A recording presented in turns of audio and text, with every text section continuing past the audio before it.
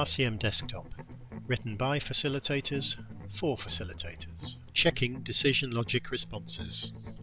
This RCM analysis has over 50 failure modes, each with a combination of yes and no responses to these decision logic questions.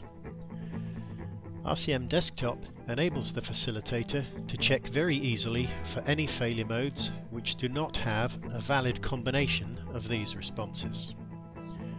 We go to the Failure Modes tab. The column labelled Valid Logic contains a tick for most of the failure modes, but some do not, indicating that their decision logic responses are invalid. To see which ones, we filter this column to show only the invalid failure modes. There are only four of them. The first three have not been analysed, which means they have no decision logic responses at all. We can quickly double check if that was intentional or an error by displaying the failure effects column.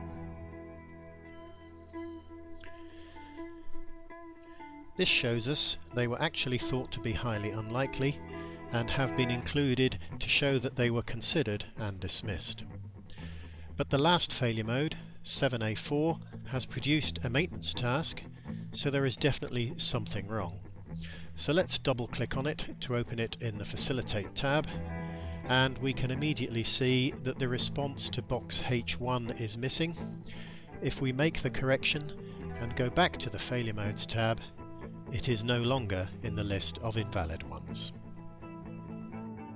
For more information, visit rcmdesktop.com. Thank you for watching.